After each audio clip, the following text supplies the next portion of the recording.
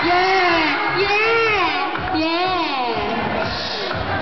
Ano kaya ang pwede kong gawin para mapansin ako ng boss kong si Armando?